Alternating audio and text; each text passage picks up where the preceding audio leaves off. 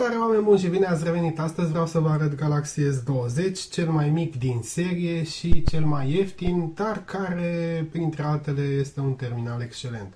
A preluat de la modelele de top toate funcțiile importante, procesorul care este într-adevăr foarte mișto, camere foto excelente și cu o procesare nouă foarte bună, um, un display de o calitate fără rival și o baterie de mari dimensiuni care oferă o autonomie de nivel bun. Uh, totuși, trebuie spus că la 4300 de lei cel mai ieftin model rămâne, rămâne un telefon relativ scump. Uh, dar uh, nu poți să zici că este slab sau că arată urât sau că are vreun defect special. Stați cu mine în acest episod și o să discutăm pe rând toate elementele acestui nou flagship al sudcoreenilor, care cred că se va vinde bine anul acesta. Înainte să începem, vreau să vă arăt un pic detaliile tehnice, ca să nu ne încurcăm pe parcurs și după aceea discutăm uh, despre S20 cel mic. Este modelul cu ecran de 6,2 inch, de asta este cel mai compact și stă foarte bine în mână, stă cel mai bine în buzunar, este destul de ușor, și în schimb oferă o autonomie decentă. Nu cea mai bună, dar este decentă. Avem uh, procesorul nou Exynos 990, tot pe 7 nanometri, dar este un pic mai performant decât cel de anul trecut. O să vedeți testele. Um, are două nuclee. Uh, M5 se numesc ele, sunt la 5-a generație dezvoltate de Samsung intern cu tehnologie proprie are mm, două nuclee Cortex A76 de mare putere, cele dezvoltate de ARM strict pe sistemul lor și are cele patru nuclee economice pe care majoritatea procesoarelor de top le au. 8 uh, GB de RAM, 128 de stocare și mm, slot de carduri de memorie. Doar să vă notați că Uh, telefonul este dual SIM și dacă folosiți card de memorie, nu mai e loc de al doilea SIM. Deci ori îl folosiți dual SIM, ori cu un singur SIM și card de memorie. Um, Display-ul, deși de 6,2, e un uh, Dynamic AMOLED 2X, adică a doua generație de Dynamic AMOLED și avem rezoluție maximă 3200-1440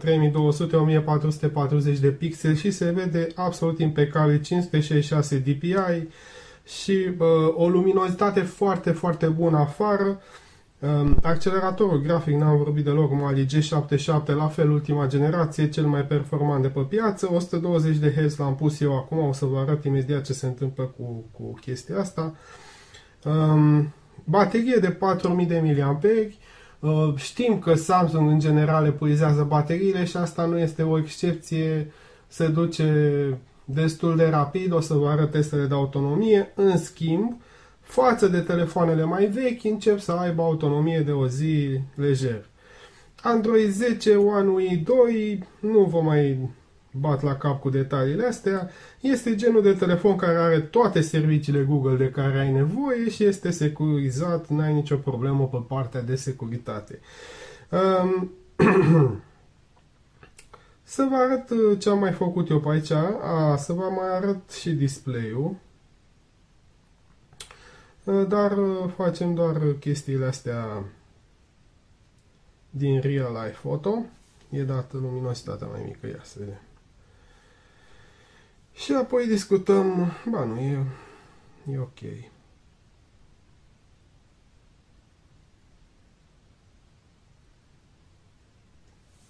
Și apoi discutăm uh, despre ce alte teste am făcut eu. A, e brain de sub 50%, mă, ce vorbești. Ia uite cum se vede. Și nu numai culorile sunt foarte bune și luminositatea, ci și o, niște detalii. E pentru prima dată când pot să spun că mă impresionează și pe mine calitatea unui display. În general, eu sunt genul ăla care ține pe HD, că nu am nevoie de mari detalii grafice și nu, nu mi se pare important să mă uit tot timpul la poze de înaltă rezoluție sau la filme. Uh, Mă rog, la filme, într-adevăr, uneori când te uiți pe Netflix e enervant dacă nu se vede la calitatea cea mai bună, dar uh, asta depinde și de calitatea conexiunii la internet, de momentul în care faci chestia asta și de multe, multe alte chestii. Așa, hai să facem, să trecem întâi prin teste și după aia vă arăt și camera. O autonomie totală, 12 ore 16 minute cu ecranul pornit și rulând. Eu vă zic că ține 24 de ore lejer. De obicei nimeni nu folosește chiar 24 de ore în continuu, doar dacă aveți zboruri foarte lungi și atunci oricum vă luați o baterie externă. Um, pleci dimineața la 7, vii seara cu el ok, deci 12 ore și 16 fără să închid deloc ecranul și fără să odihnească deloc uh, telefonul. Asta înseamnă că în mod utilizat normal este mult, mult mai lungă. Uh, performanța cea mai bună de până acum, mie mi se pare că e scorul și peste ultra, dar mă rog, de, probabil depinde și de faptul că are un ecran mai micuț ăsta.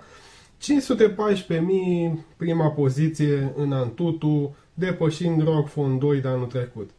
Um, la ora actuală, cam toate terminalele de top sunt pe la 500 de mii, chiar și astea care mai truchează un pic uh, scorurile. Uh, știți cum fac? Uh, optimizează niște setări, dar numai pentru teste. Acele, acele setări nu merg și în jocuri video, de exemplu, unde ai nevoie de performanță. Merg doar în teste ca să-ți mărească scorul. Bun. Slingshot extrem ăsta, în schimb, este 6745, deci nu este printre cele mai tari. Cred că anul trecut am atins 9000 pe terminal. Dacă mi-am bine aminte, dacă nu mi-am bine aminte, corectați-mă și poate uh, vedem, refacem testele. Foarte bun scorul și în ăsta, Geekbench, 921 cel mai mare scor pe single core, 2760 cel mai mare scor pe multicore, îl bate pe OnePlus 7, pe Mi 9 și așa mai departe.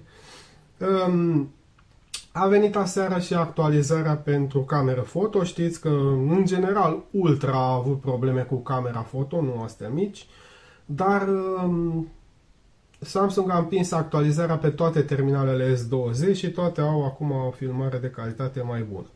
Aici am meniul de display în care am schimbat eu de pe 60. 60 de Hz stă la rezoluție maximă, iar dacă vrei pe 120 de Hz este rezoluție Full HD+. Bun. Am apucat să mă joc destul de intens și cu camera foto. Um, ce nu am făcut până acum, filmare la rezoluție 8K. O să încerc zilele astea, le am pe amândouă o să vină și ultra în curând. Uh, rezoluție 8K n-am făcut pentru că um, mă gândeam că este pe ultra prima dată și uh, am uh, redescoperit-o când m-am uitat în, încă o dată în detaliu la la setările camerei. Uh, o să fac și testul de filmare 8K și revin cu el separat. Um, ce se poate observa la camere foto este o atenție mult mai mare la detaliu față de camerele anterioare. Camera principală, atenție mare, este de 12 megapixeli. Camera secundară de 64 este folosită pentru telefoto, pentru zoom optic 3x. Într-adevăr, dacă vrei să faci poze de mare rezoluție, în special la...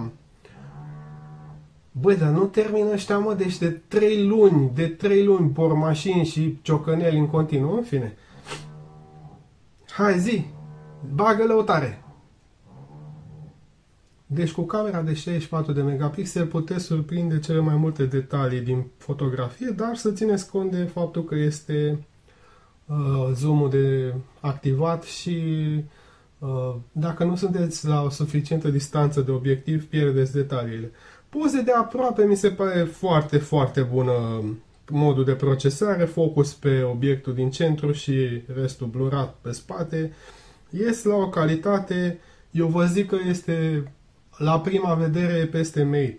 Peste Mate 30 Pro, mie mi se pare mult mai bună calitatea imaginilor. Uh, Aici, prin grădina proprie de pe balcon, am pozat diverse chestii. Am repetat testele astea din gang și vreau să vă arăt că, uite, se văd totul, totul, chiar și reflexiile din geam se văd la o calitate excelentă și poți mări foarte, foarte mult în poză. Deci, uh, la ora asta, slabe șanse să aibă vreun rival Samsung-ul. Uh, camera ultra-wide, camera cameră de zoom, poza normală cu camera principală, Poza de zoom, iar vă dați seama că este super, super clară. Și m-am mai jucat pe aici cu reflexii, cu BMW și cu o camera de selfie. Iarăși mi s-a părut o, o cameră de selfie foarte, foarte, foarte clară. Foarte clară. Uh, vreau să zic că mi-a trecut prin mână ca în toate modelele de top și de la Samsung, dar și de la Huawei, de la Apple, de la Xiaomi, de la alte branduri mai mici și toate uh, se concentrează mult pe expunere și culori, dar la Samsung pe primul loc este claritatea imaginii. Imaginea e de o claritate foarte, foarte bună și astfel poți să vezi și detalii și eventual să faci zoom dacă ai nevoie să vezi ceva mai amănunțit. În orice caz, camerele sunt excelente, cum am spus, 12 megapixel, 64 cea de zoom și 12 ultra-wide. Toate trei sunt utile în felul lor. Deci, ca să trag o concluzie, procesor de top fără rival la ora actuală, că încă nu s-a lansat top 6.5, uh, camere foto fără rival la ora actuală, foarte bune, un display fără rival la ora actuală, deja am repetat de 3 ori, și o baterie de 4000 de mAh care îți oferă autonomie bună. Desigur, recomand S20 Plus pentru că are bateria mai mare și o să vedeți, ea are autonomie un pic mai bună. Uh, Ultra vine la test în curând, ala mi se pare un telefon uriaș, o să mai vedem și o să discutăm la momentul respectiv despre el. El are în schimb camera de 108 și cu zoom de 100x, o să vedem, o să testez în detaliu fiecare. Îmi vine Galaxy Z Flip la noul Fold, episodul 2 din seria Fold. O să mă joc și cu ăla și revin cu detalii cât pot de repede. Ciao, baftă! Cu sprijinul mobiledirect.ro Huse și accesorii pentru telefonul tău.